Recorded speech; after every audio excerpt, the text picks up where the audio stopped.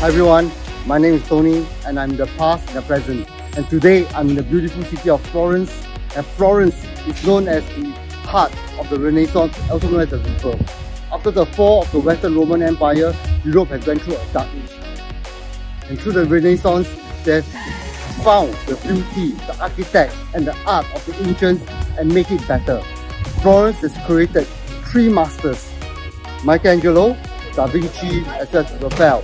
So today we're going to visit some amazing artwork, amazing architects, as well as look at the Medici, the most powerful family of the medieval Renaissance time.